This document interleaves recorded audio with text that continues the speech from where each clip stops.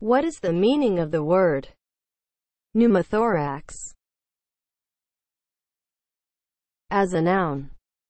Abnormal presence of air in the pleural cavity resulting in the collapse of the lung may be spontaneous due to injury to the chest, or induced as a treatment for tuberculosis. Pneumothorax is spelled P N E U M O T H O R A X. Pneumothorax